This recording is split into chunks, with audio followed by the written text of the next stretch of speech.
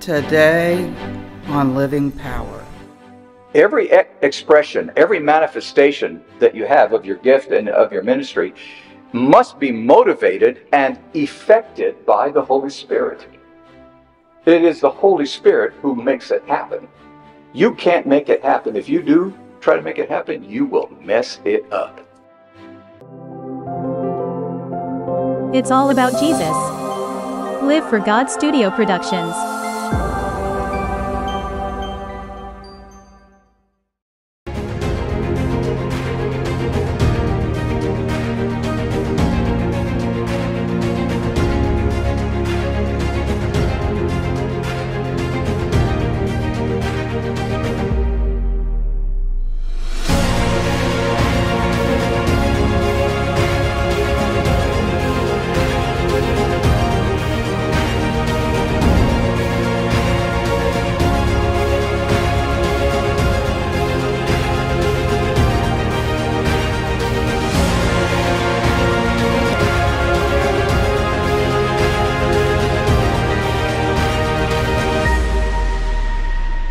This is Living Power with Dan Hurst.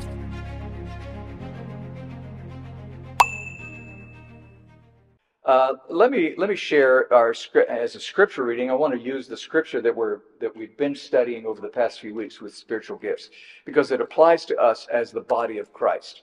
Romans 12, starting with verse 4. For as in one body we have many members, and the members do not all have the same function. So we, though many, are one body in Christ, and individually members one of another. Having gifts that differ according to the grace given to us, let us use them. If prophecy, in proportion to our faith. If service, in our serving. The one who teaches in his teaching. The one who exhorts in his exhortation. The one who contributes in generosity. The one who leads with zeal. The one who does acts of mercy with cheerfulness. Let's pray. Holy Father, we come before you, thanking you for your, your love for us uh, that you are so intricately involved in our lives. You care so much about us. You're so involved in even areas that we don't see and understand or know. But Father, you tell us that you watch us, that you have a watchful eye over us. So, Father, I pray that you give us that sense of, of, of your love for us and that sense of your desire for us to get the most out of life and to know life the way that you want us to know it. Father, I pray that you would use our study here in spiritual gifts and ministries to discover what it is that you want to do in our lives individually and corporately, and what you want to accomplish through our lives on a day by day basis. I pray this in the holy and precious name of Jesus. Amen. Most of you, if not all of you, did your spiritual gift study uh, survey over the last week. Any surprises? Shake your head, note this out. Some of you were a little surprised, weren't you? And some of you are going like, oh, I kind of suspected that. And some of you are saying, no, that can't be right. And, uh, and some of you were, were real surprised that you were so high in some or so low in some others. And some of you just, it didn't make any sense at all. And uh, Wally and I were, were, were speaking. By the way, Wally, it's good to see you back. Wally's been dealing with some leg surgery, and he's good to have him back uh, Wally was saying that his his line was it was relatively straight across, except for encouragement, which was down, but everything else was kind of straight across. That can't be right, can it? And the answer is, yeah, sure it can. Because remember, the spiritual gifts are from the Holy Spirit. And if the Holy and the Holy Spirit is the one that's developing these in your life. So he wants to use one or two primary ones, that's what the Bible teaches us. But he's developing all of them in our lives. So it doesn't matter what your primary gift is, or if you were real high in two of those, God is still developing all of those in your life. And it's, it's amazing when you look at the combination of the things that showed up. You look at the two things that you were highest in, right, Ellen? Ellen saw two things that she was high in. She said, What? Is that possible? You know, and yeah, what a powerful combination when you see how God combines some of those gifts for his purposes. Now, I will tell you that one of the things that you have, there's more to the equation. It's not, the study isn't over. Because now, once you know what your spiritual gift is, or you think you know, or you're moving in a direction of discovering that, then you, you have to attach that to what the Bible calls ministries. And they go hand in hand. They operate together. They cannot operate independently of each other. You can't have a spiritual gift and not have a ministry. You can't have a ministry and not have a spiritual gift. So, what this passage tells us in Romans is that we're a body. We belong to each other, and our gifts are for each other, to minister to each other. And the ministry is to serve each other. So, the gifts that I have aren't for my benefit, they're for your benefit. The ministries that I have aren't for my benefit, they're for your benefit. Same thing for you. Your spiritual gifts and your ministries are for the benefit of others. I mean, if you get real proud of your gift, let me tell you something, it ain't working. Because your gift isn't about you, your gift is about them. How God wants to bless them and minister in their lives. So we're a body. We all have different functions. We're all part of each other. That's what this passage clearly says. And we all have spiritual gifts. Now, what is a gift? A spiritual gift is like a spiritual talent, if you will. It's given to you when you're born again. When you were born physically, you were given certain physical gifts. You could play the piano, you could paint, you know, whatever. You could dance. That's my gift. And uh, you could you have all kinds of physical gifts that you ha- that you can use. But when you're born spiritually, you're also given gifts. Those are spiritual gifts. Those are talents that God gives you when you're born spiritually. And God wants to use those to minister in and through you in the body of Christ and really in the world too. So, what are the spiritual gifts? Just to kind of recap. First of all, there's prophecy, which is proclaiming the truths of God. Proclaiming the truths of God. The motivation to reveal unrighteous motives uh, or actions presenting God's truth. Second spiritual, and these are not in order of priority, by the way. This is just the way they're mentioned. The second one is serving, to bring relief, to bring relief in people's lives. The motivation to demonstrate love by meeting practical needs. It's interesting, a person who has the gift of serving is really focused on practical needs. Whereas a person who's the gift of uh, prophecy or of teaching is focused on spiritual truths, and that's what they want to, to, to clarify and make real. But a person with the gift of serving or with the gift of mercy is it's all very practical for them. Teaching is clarifying truth. That's the motivation to search out and validate truth defined in God's word. And encouraging is to lift up, to lift somebody up. The motivation to stimulate the faith of others somehow, some way. Then there's the gift of, of giving, which is to share, share your possessions. The motivation to entrust personal assets to others for their spiritual welfare and for the furtherance of their ministry. Then there's the gift of administration. Uh, we just read it as leading, but it's administration. That's to accomplish through order. A person who has the gift of administration is able to uh, accomplish things and, and uh, put things together. Uh, Peggy, when we were talking earlier, she has that gift. It's, it's one of her gifts. Uh, Don has that gift. It, it's, it's that being able to put things together for the purpose of administration to make things happen, the motivation to coordinate the activities of others for the achievement of common goals. Then there's mercy. The gift of mercy is to show compassion, and that is the motivation to discern and to identify with, identify with, that's very important, to identify with and to comfort those who are in distress.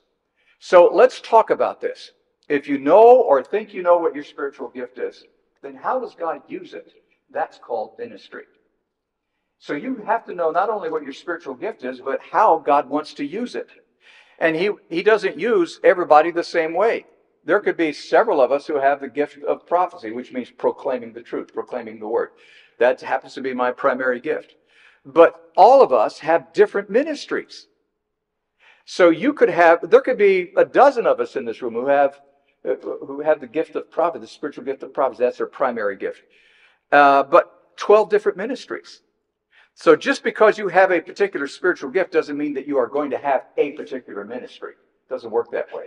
All of the ministries are different because God has made each of us different. I don't know if you know this, but everybody sitting at your table is different. and you all are made up differently. And so you operate differently. So once you've determined what your primary spiritual gift is, you need to follow through on the use of that gift. And 1 Corinthians chapter 12, starting with verse 4, helps us to understand how to pinpoint the use of our gift. Here it is, 1 Corinthians chapter 12. Now, there are varieties of gifts, but the same Spirit. There are varieties of service, but the same Lord. And there are varieties of activities, but it is the same God who empowers them all in everyone. To each is given the manifestation of the Spirit for the common good. Did you get that last one? To each is given the manifestation of the Spirit for the common good. Now, let's break these, these, uh, these four verses down. Verse 4 there are varieties of gifts, but the same Spirit. The gifts that we're talking about are the gifts that we've been studying, the seven basic spiritual gifts, which are in Romans chapter 12. But each gift, we have to understand, is administered by the Holy Spirit. So it's not your gift, it's God's gift. We say, What's your spiritual gift? And eh, because, but what we mean is, what gift is God working in and through your life? You don't own the gift. It wasn't given to you so that you could go sell it. It's not that, it's not that kind of a gift. The gift is God's gift. And actually, if you want to know the truth, it's God's gift through you. Your spiritual gift is what God wants to give other people through you. Verse 5 says there are varieties of service, but the same Lord. Now, the word service is diakonia. Does that sound familiar? Diakonia? How about deacon? That's where we get the word deacon from. It means ministry. It's, it's, it's, it's the word service is diakonia, and it means a way to serve Christ and others. That's all it means. Doesn't mean that you have a, a, a position of leadership in the church just because you're a deacon. If anything, you have a position of servitude in the church. That's what a deacon does. A deacon is a servant to the, to the body of Christ. And that's, a, that's his job or her job. It's, it's, it's our job as servants to minister in a way that, that or to let God minister in a way through us that changes other people's lives. That's ministry. So each ministry then has to be under the lordship, under the leadership and the lordship of Jesus. And each ministry, get this, is an act of obedience.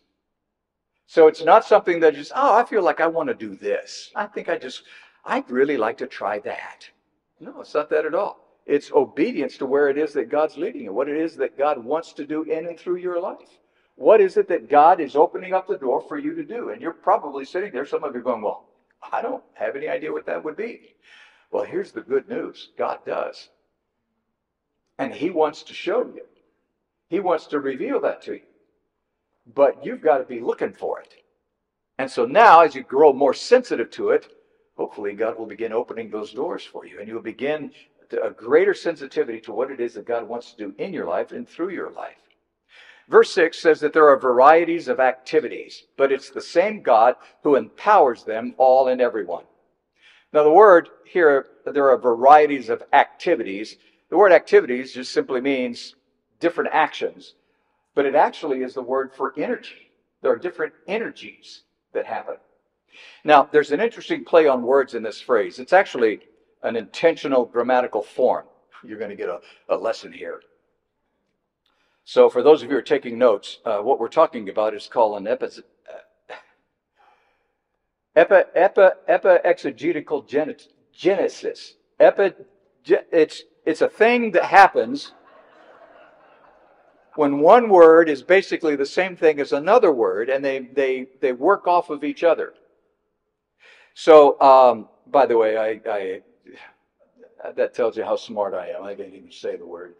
But what the whole concept of, of this is that when it, there's when there is a word that is used that is meant to be the same thing as the noun it modifies. Have I totally confused you? All right, well, let me explain it. In this passage, the word for activities means energies. There are different energies. There are varieties of energies. But the word empower is almost the exact same word.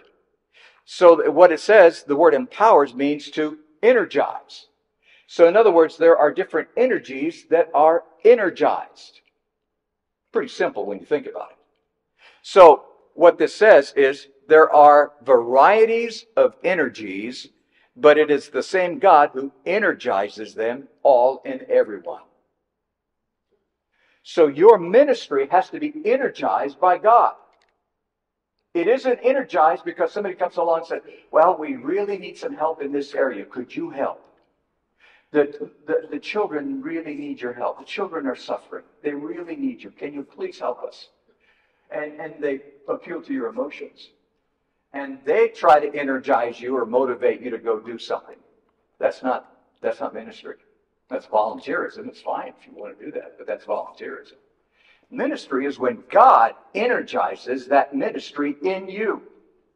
You have the energy, that ministry, that energy, that that that activity that, that you know you you you could do, or you want to do, or you think you could, or well, you're not sure if you can, but boy, you you really are passionate about it. You think, but it's God who energizes that opportunity. It's God who makes it happen. It's God who gives the energy for that ministry. So think of it as a way that God wants to use your gift and your ministry, which are all His gifts and His ministries, and the location that He wants to use it, and combine all of that together with all of the other believers and their gifts and their ministries. Can you see what's about to happen? When we understand that God has every person in this room has one or two primary spiritual gifts, may not know what they are yet, but the Bible teaches that. And then all of you recognize that you have a ministry, you individually have a ministry that God dictates and He wants to accomplish, and that God will energize that ministry in you. Can you imagine what God could do through this class? Can you imagine what God could do, through this church? I mean, we, when we begin to, we, we think that we're out here in this little island by ourselves, that how are we going to make a difference in the world? There's how you make a difference in the world. It's God who energizes it. And by the way, it's up to God to make it clear what He wants you to do and what He wants for your life. It's not up to you to go, oh, I've gotta figure this out. Okay, I took that test. Okay, so I've gotta go with this formula. Test is, the survey is just basically kind of a formulaic type thing. It's man-made. It's not, it, you know, it didn't, it didn't come straight out of the Bible. It uses biblical principles and terms and that, and that's important.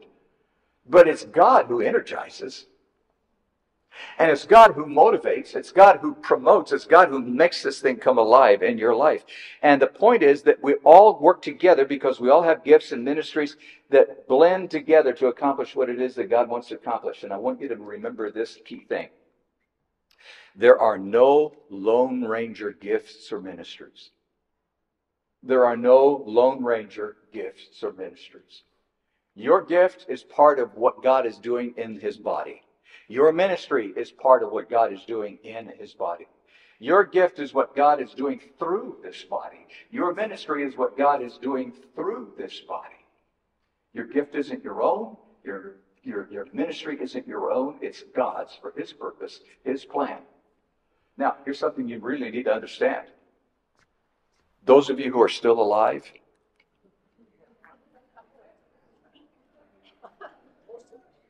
most of you, Uh, those of you who are still alive, God still has a gift and a ministry for you. The fact that you're still alive proves that God's not done with you yet. You may think He's done with you, He ain't. He is, in some cases, just getting started.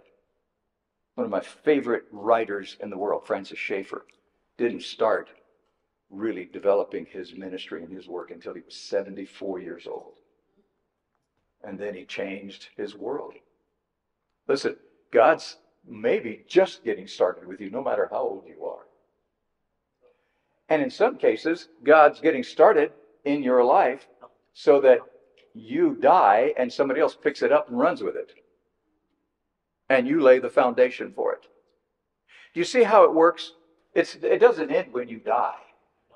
You know, God still has something he wants to accomplish. You know, my, my father has been dead for, for many years. God's still working through him in my life. I mean, he's still an example to me. I still remember things that he taught me. I still, to this day, will, think of things like, wow, I'd forgotten all about that. Something that dad did or he taught me.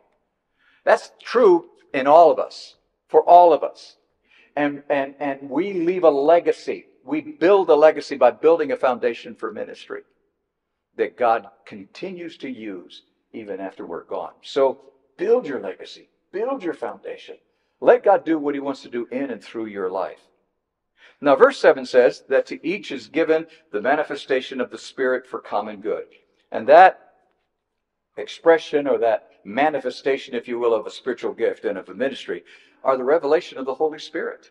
It's what the Holy Spirit does, and it's for the good of the body. And that's why it's critical to not go out and do things on your own. Every e- expression, every manifestation that you have of your gift and of your ministry must be motivated and effected by the Holy Spirit. It is the Holy Spirit who makes it happen. You can't make it happen. If you do try to make it happen, you will mess it up. So don't do it. A good way to think of the manifestation of the Spirit is to think of it as the when and the where that God chooses to use your gift and your ministry. The when and the where that God chooses to use your gift and your ministry.